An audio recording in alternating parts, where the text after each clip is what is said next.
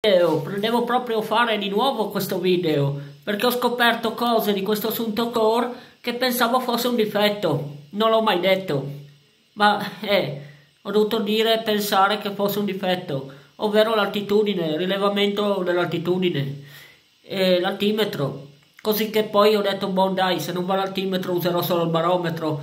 Eh, e invece no, eh, c'è non un trucco ma c'è una modalità di usare l'altimetro. Mm.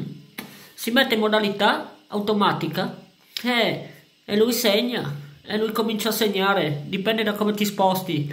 In pratica se si sta fermi in un posto eh, legge la, le letture barometriche e ti segna pressione a livello mare dell'altimetro del barometro e così via.